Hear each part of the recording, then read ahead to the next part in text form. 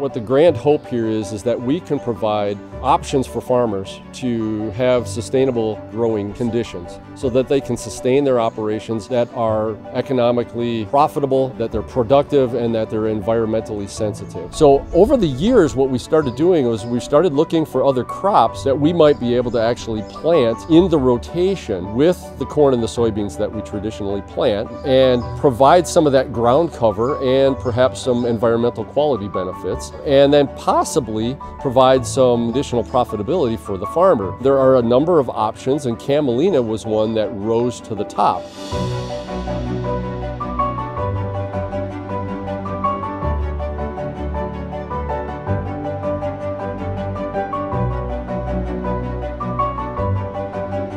One of the issues with agricultural production, especially in intensively cultivated regions, is there are a lot of nutrient losses in that farmers need to apply nutrients to grow their crops and they do their best to manage them. But given the environment we have and the type of the system that's being farmed, there's certain times of the year when the soils are just really vulnerable to losing nutrients. If those nutrients are lost, they have a number of different environmental impacts. They impair ecosystems in different ways. It can have effects on human health. So one of the strategies that's been found to be really effective is cover crops, which provide living vegetation. They're planted in the fall, they survive the winter, green up immediately in the spring, and start to soak up water and nutrients out of the soil so it can't be lost to the environment. What's really promising about crops like camelina is they can be harvested in the spring for cash value. So camelina is an oilseed crop. The seeds can be harvested and either uh, potentially go into the food system or can be harvested as a biofuel crop. So in this way it can provide a revenue stream for farmers and since it's a winter crop it can be incorporated into existing corn and soybean rotations.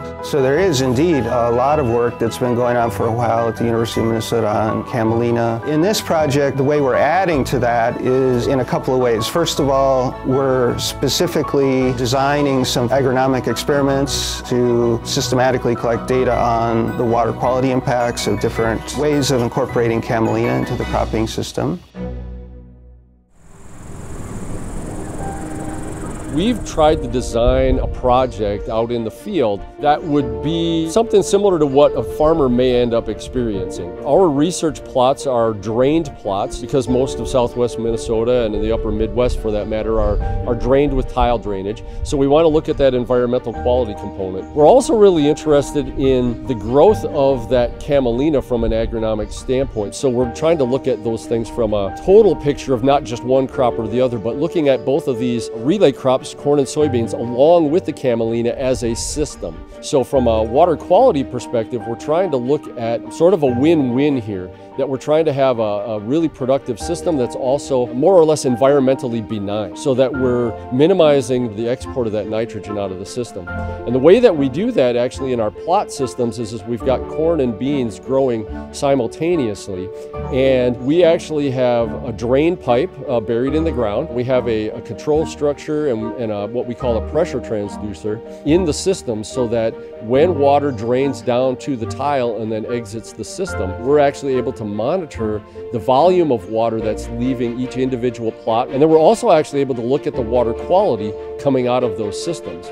When we start looking at this out into the future, it's kind of a hope that, that I have that as we work with the farmers, that we can kind of fine tune some of the, the research, use them to inform us. As a resource specialist at uh, the Soil and Water Conservation District, what I do is try to connect the testing and the science behind the things that Jeff is doing out here with the producers. Well, my hope is always to maintain that partnership, working with the University of Minnesota and the local people out here too. Working on projects like this, there's a lot to be gained from both sides. So I I just would hope going forward that we can work together on this and just have that partnership from this point forward because I think it's the best thing is that we have that connection with the true live producers, actually what's going on in the field. So the partnership is very big. I think it's we can gain from each other. Hopefully we provide a, uh, an opportunity for farmers to expand their enterprise and be profitable, be productive, and environmentally sensitive.